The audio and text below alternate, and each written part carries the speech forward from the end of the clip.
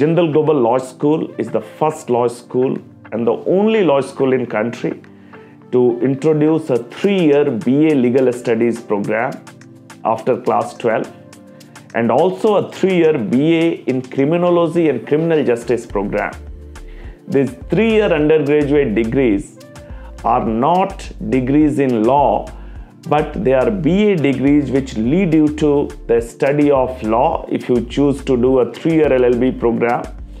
you have a secured pathway to the LLB program at Jindal Global Law School itself, as well as it opens the door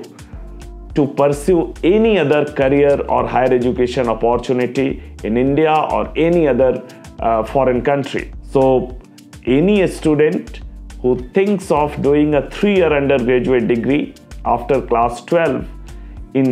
law or legal studies as well as in criminology and criminal justice, they should certainly consider to come to Jindal Global Law School in its residential program.